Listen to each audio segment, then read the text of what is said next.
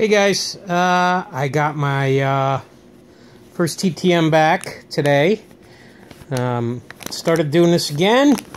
Been years since I did this, but uh, coming in today from South Jersey. Sent it out on the 8th, so pretty quick turnaround. I'll let you, let me open this and I'll let you know who it is.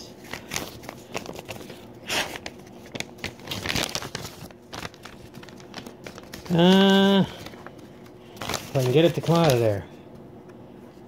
Aha! We have Greg Luzinski, 1971 Topps card. Gotta love that. The Baby Bull. That makes me very, very happy.